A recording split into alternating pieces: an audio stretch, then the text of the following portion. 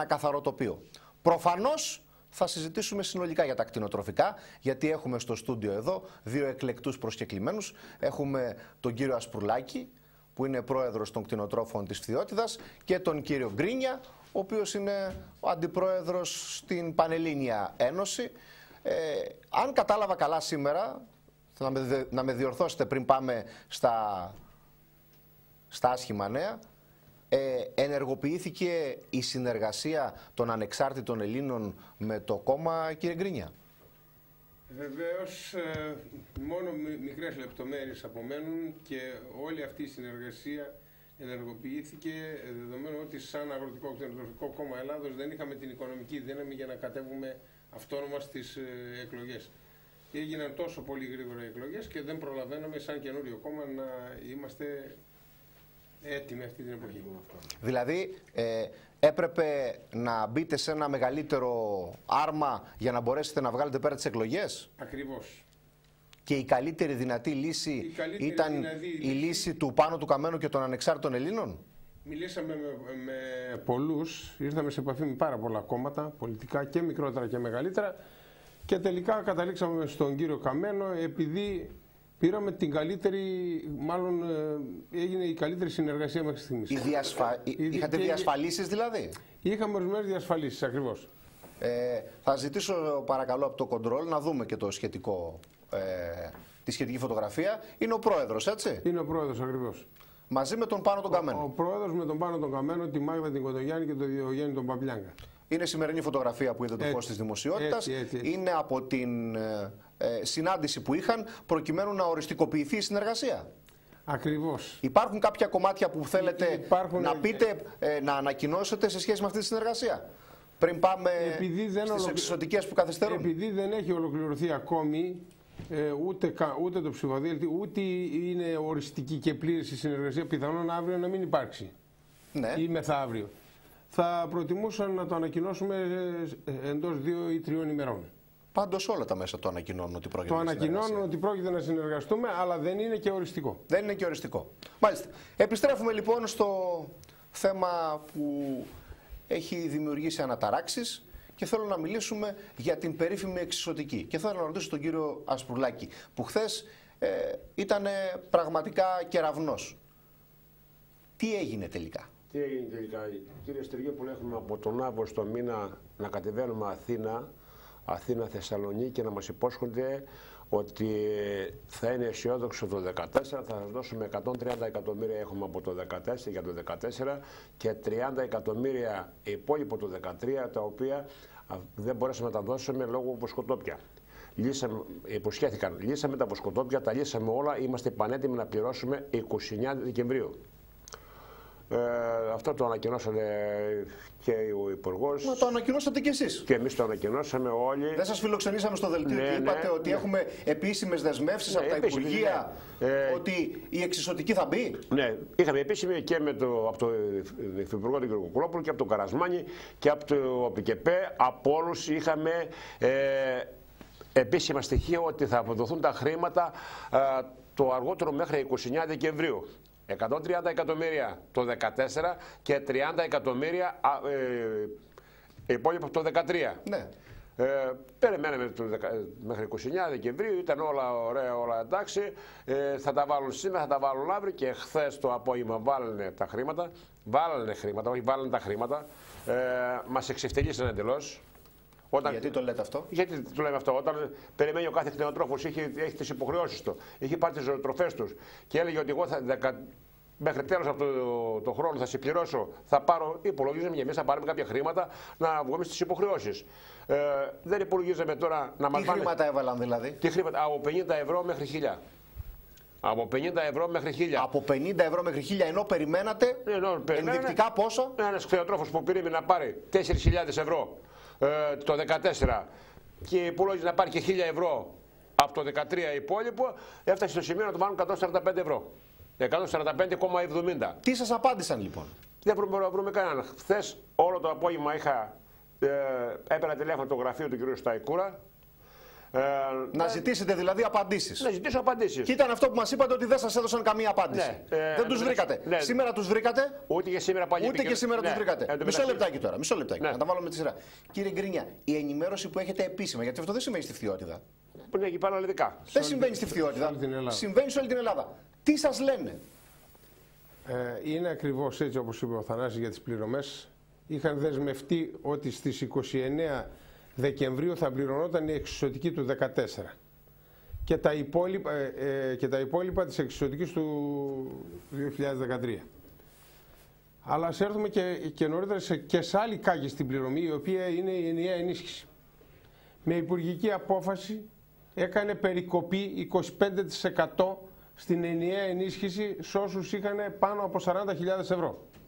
Οι άνθρωποι δεν κλέβανε, είχαν τα ζώα, είχαν τα δικαιώματα για αυτά τα ζώα, ορισμένοι τα είχαν αγοράσει με χρήματα και κατέλη- κατέληξε να μείνουν πολλοί συνάδελφοί μας και στη Φθιότητα και σε όλη την Ελλάδα να χάσουν τεράστια ποσά. Μιλάμε για ποσά των 10 ή 20.000 ευρώ Ναι. και εάν αυτά τα χρήματα της ενέας μιλάω πάντα, εάν είναι ε, ότι κακώς τους θα δώσανε το πιθανό να τα χάσουν τελείως. Σαν να, ε, εάν φαίνονται σαν να χρεωστήτως καταβληθέντα, πιθανό είναι να μην τα πάρουν ποτέ. Ε, πάμε στην εξισωτική. Η δέσμευση ήταν 29 Δεκεμβρίου θα μπαίνανε. 29 Δεκεμβρίου δεν, έ- δεν συνέβη τίποτα. 30 Δεκεμβρίου τίποτα. Στις 31 μήνυμα από το Γενικό Γραμματέα του Υπουργείου Γεωργίας ότι την Παρασκευή, για τη χθεσινή μέρα, την Παρασκευή θα μπει προκαταβολή, ακούστε καλά γιατί αυτό είναι ψεύδος, θα μπει προκαταβολή της εξισωτικής του 14 δεδομένου ότι δεν έχουν απογραφεί όλα τα ζώα, ότι δεν κάναν την απογραφή στα Μητρώα εκτινοτρόφοι. Ναι, δεν την κάνανε. Θα μπορούσαν όμως να πληρώσουν σε αυτούς που κάναν απογραφή και να πληρωθούν κανονικά. Γιατί άνθρωποι που κάναν απογραφή, όπως φέρει πίνω ο κύριος Ασπουλάκης, έκανε απογραφή και σωστά το πήρανε, έπρεπε να πληρωθεί το ποσό των 3.000 ευρώ ή των 4. Και όμως η προκαταβολή να είναι ενιαία σε όλους.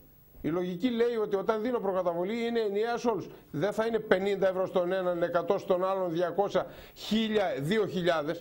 Το 2000 Άρα και είναι- είναι, είναι ψεύδος ότι είναι προκαταβολή. Ε, σήμερα ο, ο, ο πρώην Πρωθυπουργός, γιατί πλέον δεν είναι Πρωθυπουργός ο κύριος Σαμαράς, Πήγε στη Λάρισα. πήγε στη Λάρισα, μίλησε με κάποιον Είπε διάφορα. είπε διάφορα, μίλησε σε κάποιον δικό μας και τηλεφώνησε και στον ίδιο τον, Καρα, ε, τον ε, κύριο Καρασμάνη. Τι είπε λοιπόν; Ο κύριος Καρασμάνης είπε και στον κύριο Σαμαρά και στον δικό μας άνθρωπο ότι καλώς έκανε την πληρωμή. Όλοι, ο κύριος Υπουργός βλέπει ότι καλώς έγινε η πληρωμή και όλοι οι υπόλοιποι κτηνοτρόφοι και οι- όσοι έχουν γνώση λένε ότι κακώς έγινε αυτή η πληρωμή. Κάκιστη, όχι ε, κακή. Ακόμη δεν έχω την πλήρη ενημέρωση γιατί δεν είδα την ομιλία του κυρίου Υπουργού, ήμουν στον δρόμο, του κυρίου Σαμαρά, του πρώην Πρωθυπουργού. Δεν είδα την ομιλία του και δεν ξέρω τι διεμήθη ακόμη περισσότερο με τον άνθρωπο όμως που ήταν εκεί. Επισήμως λοιπόν από το Υπουργείο λένε, λέτε εσείς ότι όλα έγιναν καλά. Ναι, ναι, Το όλα Υπουργείο νόμιμα. λέει ότι όλη η πληρωμή έγινε σωστή. Δηλαδή έχουν καταβληθεί όλα τα χρήματα; Πιθανόν να μην λένε όλα, όπως σας είπα, γιατί ο Γενικός Γραμματέας είπε Τότε ότι είναι, πώς έγινε καλά; Ναι, ότι είναι προκαταβολή. Δεν έγινε καθόλου καλά. Απλώς δεν, δεν πρέπει να στέκουν καλά στα μυαλά τους. Ή θα έπρεπε να πούν στον κόσμο ότι δεν είναι προκαταβολή και για μένα δεν είναι προκαταβολή, ή έχει σχέση με το βοσκότοπο πάλι. Και αυτός είναι ο λόγος που ένας παίρνει 50, ο άλλος 100 και ο άλλος 200 και 300 και ούτω καθεξής. Ενώ όσο μας είχαν Εάν υποσχεθεί. ήταν Ναι, προκαταβολή. κύριε Σπρουλάκη, ναι, πείτε. Ναι, ενώ μας είχαν υποσχεθεί Ναι. ότι λήξανε, έληξε το θέμα με, τον, βοσκο- με τα βοσκοτόπια. Ε, τελείωσε. Δεν έληξε. Δεν έληξε καθόλου. Τι δεν Φαίνεται τώρα. Ορίστε, φως φανάρι τώρα αυτή τη στιγμή. Δεν Μας έληξε. κοροϊδεύανε μέσα στα μάτια μας. Πριν από 20 μέρες με πέραν από το γραφείο του κύριου Σταϊκούρα, ο κύριος Σταϊκούρας, όχι ο Χρήστος, ναι, ναι, ναι, ναι, ο ναι, ναι, υπουργός, ναι, ναι, ναι. ο πατέρας του. Ναι. Μου λέει, πρόεδρε, έχει βγάλει ο Χρήστος 280 εκατομμύρια Άκου, 200 ενώ η μάση εξωτερική δεν είναι τόση, 280 εκατομμύρια α, για τις εξωτερικές αποζημιώσεις. Ε, να τον αγγίξω, λέω, αν δεν ανακοινώσει, να βγει ο Χρήστος ο ίδιος να ανακοινώσει, εγώ δεν βγαίνω, πιστεύω να σας το είχα πει αυτό το πράγμα, όχι βέβαια στο κανάλι, το είχαμε πει, το, το είχαμε συζητήσει. Ε, και τον έπαιρνα χθες τηλέφωνο να μου απαντήσει τι- αυτά τα 280 Το είπατε. Δεν βγαίνει κανένας να σας πει τίποτα. Τίποτα κανένας; Από εδώ και πέρα λοιπόν τι πρέπει να γίνει; Κύριε Γκρίνια. Τι πρέπει να γίνει; Εμείς σαν πανελλήνιο όργανο θα αποτανθούμε στο Υπουργείο Γεωργίας να, και στον ΟΠΕΚΕΠΕ για να δούμε τι, γιατί έγινε η πληρωμή πάλι έτσι. Και πλέον θα βγούμε στον κόσμο μας και πολιτικά πλέον, γιατί έχουμε τις εκλογές και θα του πούμε ότι οι κύριοι αυτοί μας κοροϊδεύουν. Συνέχεια επί δυόμιση χρόνια. Κοροϊδεύουν, λένε θα πληρώσουμε, θα πληρώσουμε, θα πληρώσουμε και τελικά πληρωμές δεν γίνονται σωστές. Παίζουν με τα χρήματά μας. Και στο κάτω-κάτω της γραφής δεν μπορώ να καταλάβω όταν τα χρήματα δεν είναι από, το, από τον προπολογισμό και το μεγαλύτερο μέρος προέρχονται από κονδύλια της Ευρωπαϊκής Ένωσης, ποιος είναι ο λόγος και δεν δίνονται.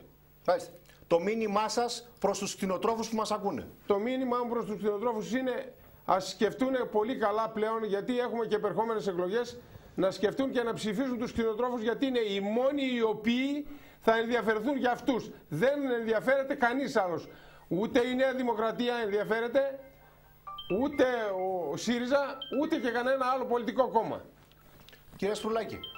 Εγώ έχω να πω το εξής πράγμα στου κτηνοτρόφου. Γιατί αυτό το φώναζα από, το, από τον Αύγουστο μήνα ότι θα τα βρούμε σκούρα τα Χριστούγεννα. Ήρθε και γιατί εγώ με παρέα μου από το Συμβούλιο του 15 μήνες με έλεγαν άπιστο Θωμά. Κλείστε το κύριε Γκρίνια, κλείστε ναι. το. Με, με έλεγαν άπιστο Θωμά γιατί ό,τι λέγανε κάτι στο Υπουργείο εγώ δεν πιστεύω. Του έλεγα στα ΕΣΕ, εγώ δεν πιστεύω σε αυτά που λέτε. Να όμως που δικαιώθηκα τώρα.